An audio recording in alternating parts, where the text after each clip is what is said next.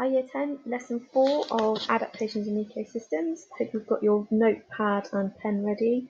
Um, you definitely will need another colour and uh, you will also need to be able to switch back to showing the homework for an attachment for one of the activities.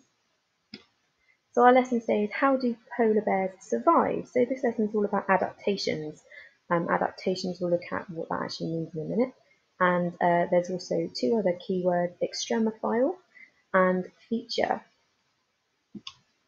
So what is an adaptation? So an adaptation is basically a feature or characteristic that helps an organism to live uh, as beneficially or as efficiently as it possibly can in its habitat, so their natural environment. So they will have changed over time to adapt to that particular environment, um, which is why we have so much variation in our sort of different species of plants and animals in our world.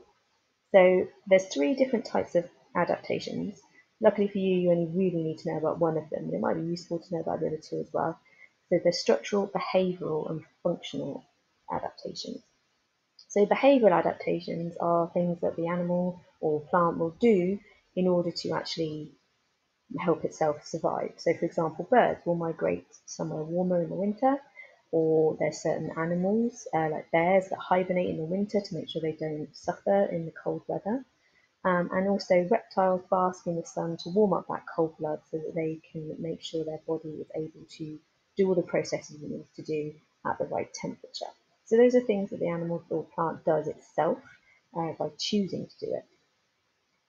Functional adaptations are ones that they probably do without knowing, and it's more about how the body works.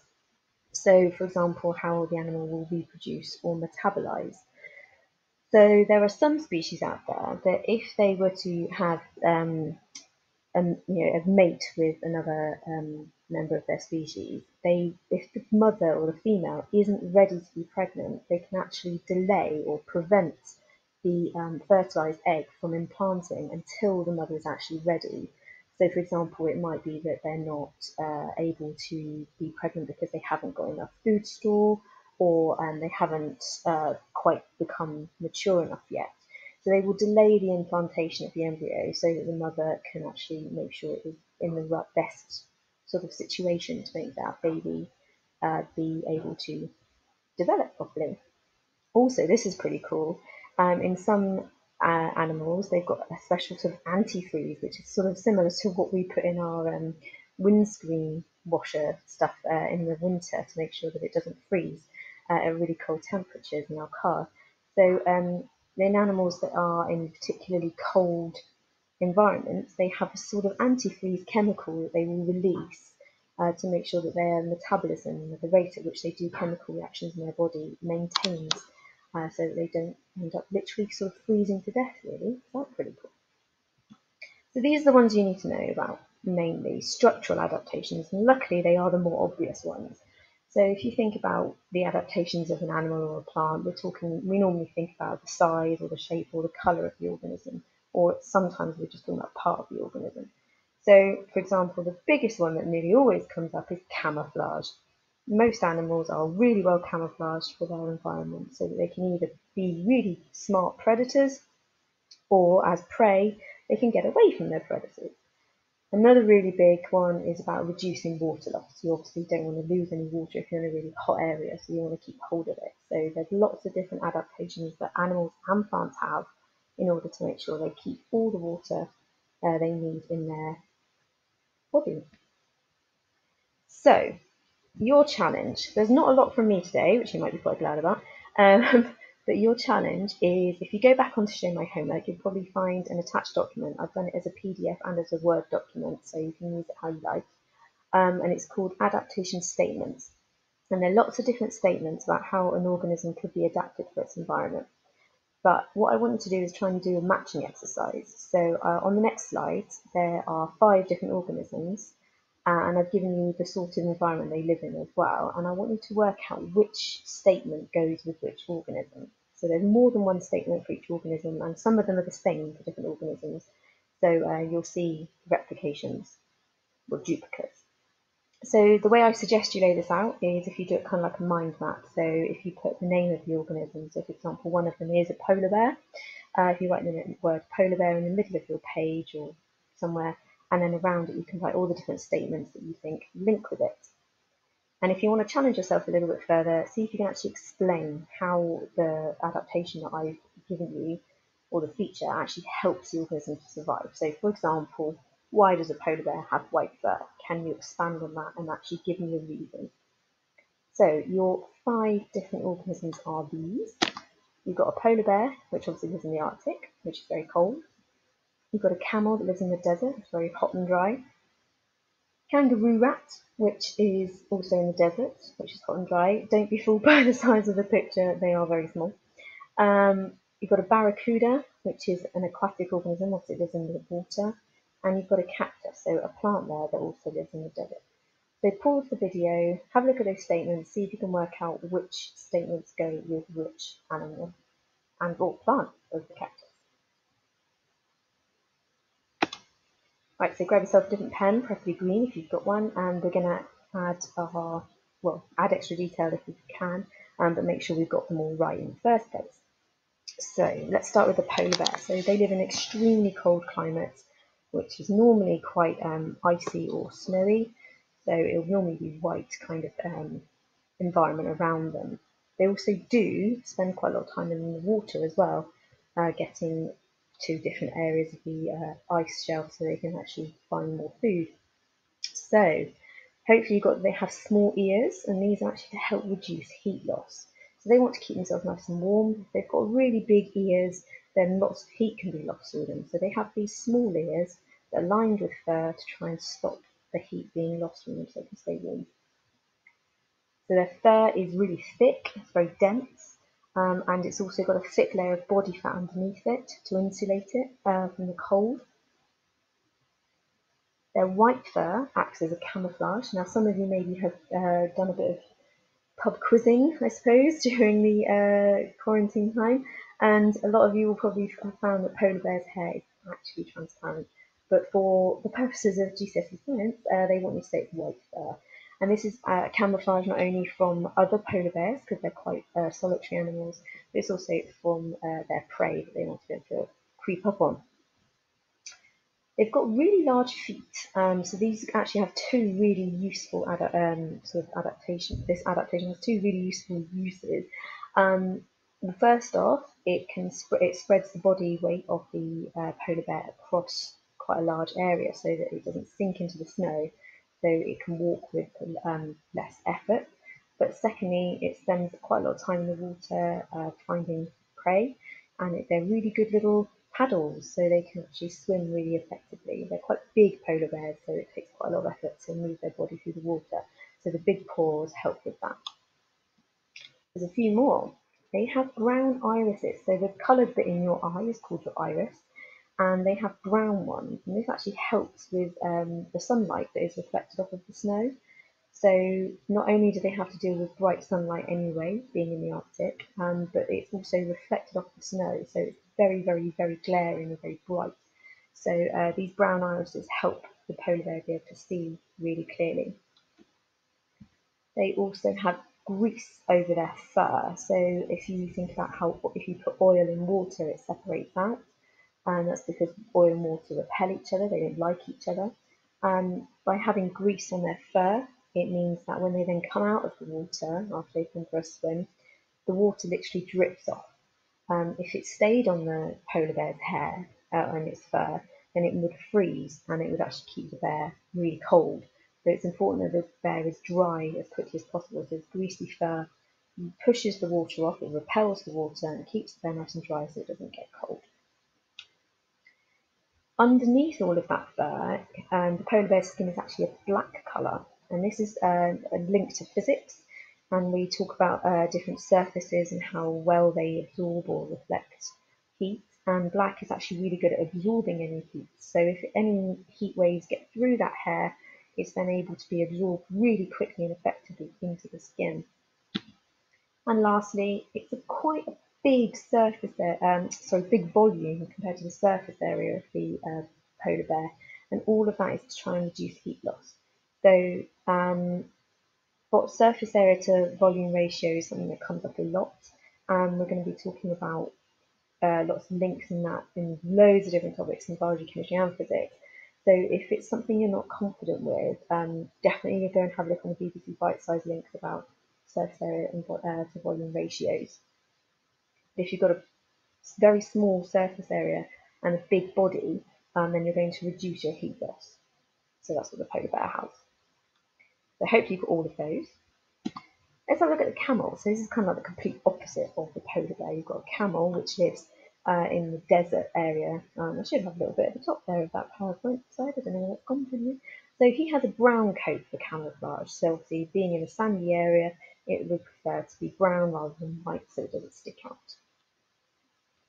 Uh, a lot of people think that there's water stored in the hump of the camel. It's not, it's actually fat.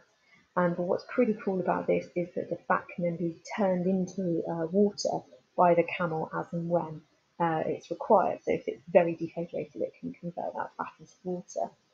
Very, very little fat elsewhere on the body, and that's to stop the camel from being insulated. So it can lose heat really quickly, so it prevents overheating by not having fat anywhere else in the body. It doesn't do many wees, and it doesn't sweat a lot, so it maintains its water levels quite well.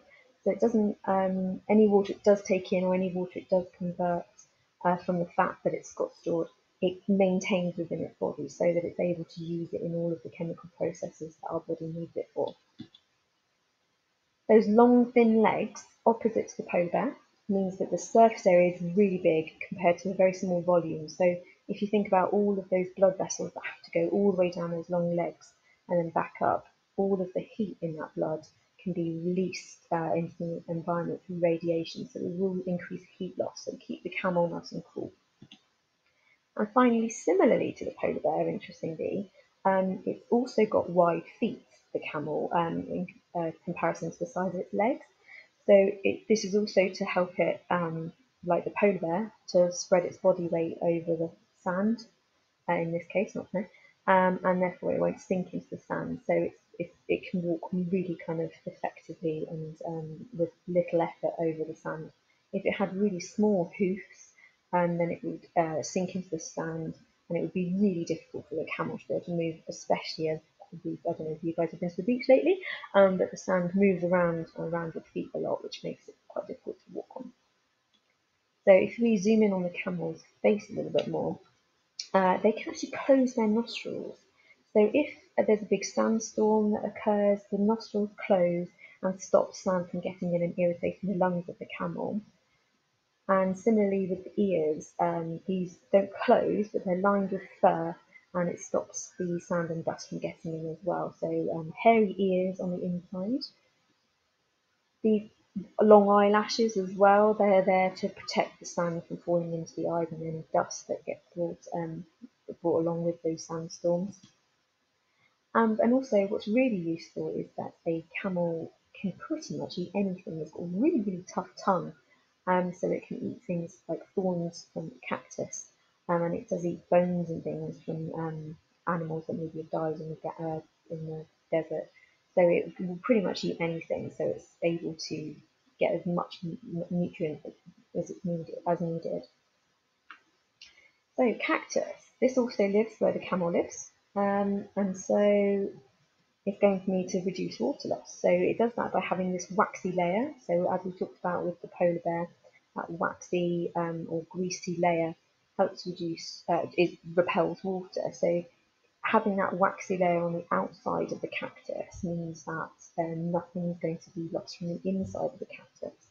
But the cactus is able to get water into itself really effectively in a different way, which we'll talk about in a minute. It doesn't really have leaves. I don't know if you've ever really looked at a cactus, but they don't have any leaves. And they have spines, which not only stop predators from eating it, other than camels, because they've got those tough tongues, but they also, not, leaves are one of the ways that plants lose water. So if you have really small spines instead of leaves, then no, the very little water will be lost. And it stores water in a fleshy stem. And I read somewhere, or I think I watched it on Netflix somewhere, um, that a, a, cactus can actually swell 80% bigger, or it's able to make, uh, it's, it's, it can get really huge uh, from the amount of water that it absorbs inside itself um, once it gets the water in through the roots. So it's got a fleshy stem, the waxy layer stops the water from being lost, as well as having no leaves, so it, it swells up really, really big, and it stores it for a really long time. Um, similar to the uh, polar bear, it's got quite a small surface area to volume ratio. And this has nothing to do with heat loss, it's more to do with water loss. So it's not going to want to have lots of um, sort of space or pores that water can be released from. So it, it keeps its body nice and big, but very small surface area. So this is how it gets, it gets its water. They have really sort of shallow, so they don't go very deep into the ground but roots that go really spread out. So they'll spread really far and wide around the cactus so that if, if and when it does rain, the cactus is able to absorb much of that rainwater as possible. Um, but then there's a few cactuses that will have uh, one or two really, really deep roots um, that will go really far down and find under that water that is stored under the ground. So that's really rare in the desert and um, will only be very specific species of cactus. So kangaroo rat also lives in the desert. Um, he's brown, just like the uh, cactus, so he's got that camouflage, and he tends to only go out at night when it's much cooler, so he avoids that direct sunlight um, and is nocturnal. Most of its water comes actually from seeds, so it doesn't need to find fresh water sources anywhere. It will eat the seeds, and the seeds will provide him with as much water as he needs. Um, a lot of our water also comes from our food rather than beverages that we drink. Similar to the uh, camel, it doesn't sweat. Um, doesn't I don't think it urinates much either, um, and it doesn't pant. So things like a dog will do uh, the panting, which helps it to, uh, to, actually it's more to do with heat um, loss there, but it will also do with water loss. Um, but it, it does everything it can to reduce water loss. Now these large back feet are really important for the kangaroo rat because not only does it help with its name, but it helps it hop away from its predators and it's amazingly able to hop up to two meters at a time. And if you a kangaroo rat is about the same size as a hamster, so for two meters for a uh, sort of hamster-sized mammal is quite quite a big jump. Um, so they're really important uh, for keeping it safe. And lastly, that long tail when it's hopping, it's really important to make sure that it's able to balance itself so it doesn't fall over, obviously, um, and so it can effectively get away from its predators. And lastly, we've got the barracuda, the fish which lives in the water.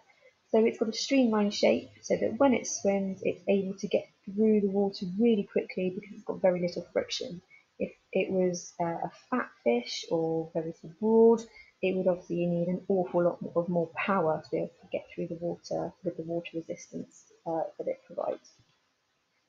The silver colouring of the fish allows it to be camouflaged, so um, it can actually creep up on its prey. This is a predator fish. Um, it, the fish that actually kills all of the eggs at the beginning of Finding Nemo, I believe. Um, it's obviously very, very different to land-based animals because it's got gills so um, it's able to extract oxygen from the water um, and then sort of breathe by using that. Not any land-based animals have that. So those are, I'll back, uh, those are some sort of the, I wouldn't say most common animals, but they are, and plant, but it's they're ones that you can use the examples of the adaptations and you should be able to apply them to any other kind of organism that they um, give you in an exam question. So, for example, if they were to give you another aquatic uh, organism, you can sort of start thinking, oh, well, it's going to have gills. Does it need camouflage to be able to be a predator or prey? Um, and obviously, be stealthy and ca um, catch its prey or hide from its predator. You can also talk about the streamline shape. That's not just unique to the barracuda.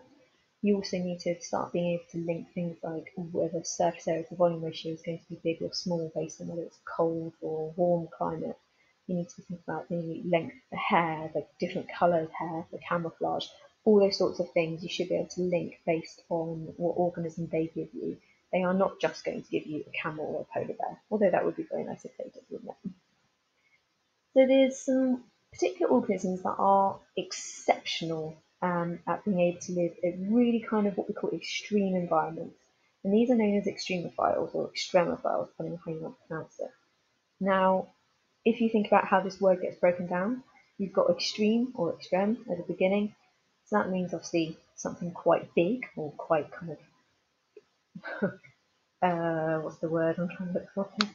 Quite sort of insane, maybe. Um, and then phile means like in Latin. So if you're a phobe, you don't like. If it's a phile, then you do like. So it's something that likes to live in extreme circumstances. So for example, on our, on our planet, we've got really high temperatures, high pressures, really alkaline or acidic conditions, or very particular, particularly salty conditions. So these organisms that live in these really extreme high temperatures or extremely cold temperatures, these will be known as extremophiles. We don't tend to see them very often because of we don't really go into these kind of environments very much. But the ones that you might sort of be asked about are things like bacteria. So if you go really deep down into the uh, deep sea, there are vents where the um, water gets heated up by underwater volcanoes and things like that. And there are very there is very little life there. However, that things like bacteria they live in these deep sea vents because they have been so well adapted to live in these extreme conditions, such as the really high temperature, the really high pressure that involves with being so deep down and really close to these underwater volcanoes. So, the, I mean, it's incredible that they're able to do that anyway, but the reason why they do it is because it's very nutrient rich uh, down there, but also there's very little competition. So, they've been able to kind of take over and dominate in that area and um, be really successful at living in that very particular niche of um, the, the planet. So, really quite, I think it's quite a nice, simple multiple choice question for you. Pause the video, have a look through. Um, but the polar bear has thick white fur, and what's it for? So why is it white and why is it thick? Look at the two options um, of, on each one, and then make your decision.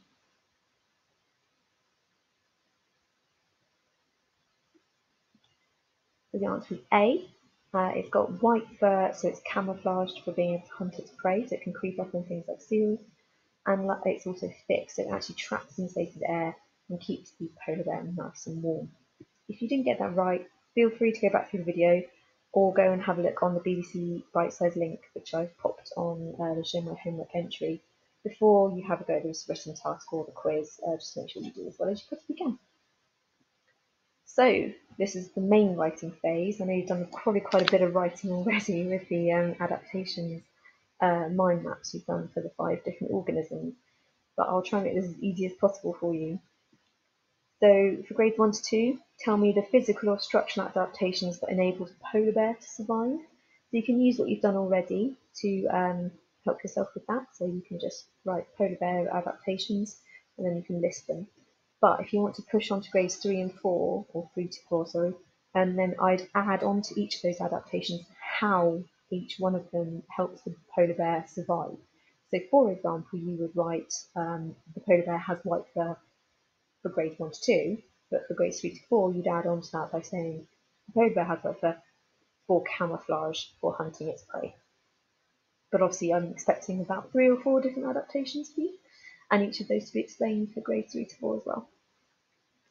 For grades 5 to 6, um, you need to describe and give reasons for the huge range of adaptations among plants and animals. So obviously think about, there's lots of different um, environments and types of environments that we have on our planet.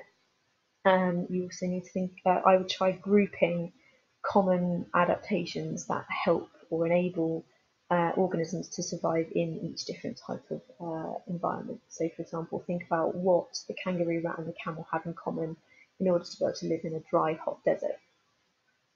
And then for grade 7 to 9, why are there extremophiles? So think about where they are, why they are there, and um, why they might want to stay there. So pause the video, have a go.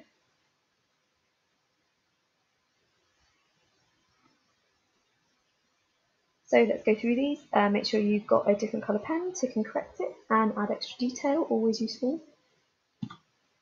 So for grades 1 to 2, any of these um, I would be happy with. So you could say you've got white fur, thick fur, the layer of fat, uh, large paws or feet and small ears. If you went said anything like the brown irises or the black um, black skin. Any of those are fine as well. These are just probably the five most obvious ones. And then if you push on to grade three to four, um, you should have been adding on the bits that are in italics. So white fur for camouflage, you can add on for creeping up on prey. Uh, thick fur for trapping air for insulation or for keeping him warm. Uh, the layer of fat is also for insulation or keeping him warm. Don't mind, but try and use some more scientific terminology if you can. So improve your work if you want to. Uh, the large paws or feet prevent sinking into snow and for paddling in the water. And the small ears to reduce heat loss. For grades 5 to 6, there's quite a bit here. This is quite probably the chunkiest bit of writing if uh, you went to town on it a bit like I did. So we've obviously got lots of different uh, living environments on our planet, so they have to have a huge range of adaptations in order to be able to meet those different um, requirements of living in different environments. So uh, animals and plants that live in hot, dry climates, they'll tend to have uh, adaptations that help it not lose any water and actually get it to lose heat. So, for example, the kangaroo, rat, and camel uh, have got a few in common there. So, don't don't do many wees. They've got large surface area to volume ratios. You've also got the cactus that you can throw in there too, saying about how it's got um, spikes really instead of leaves, and so it's got lots of water staying in its fleshy stem rather than being lost through the um, leaves. However, alternatively, you've got the animals and plants that live in colder climates such as the Arctic they wouldn't need those because they'd need the opposite. Um, so if, I don't mind if you obviously talked about the polar bear there and then said the kangaroo, rat, and the camel are different, as long as you've got the idea that obviously they need to have different adaptations to suit the environment they live in. And then you can also talk about completely different type of organism, the aquatic organisms such as the barracuda. They need completely different adaptations in order to be able to live under the water instead of on land, such as gills. For grade 7 to 9, um, the extremophiles bit, so they're really effective at living in really extreme conditions, and that's, example, seriously hot or very, very high pressures. And this is so that they're able to thrive in these unique conditions um, where nothing else is really going to compete with it. Um, and then they can dominate that, that, in that environment or that habitat.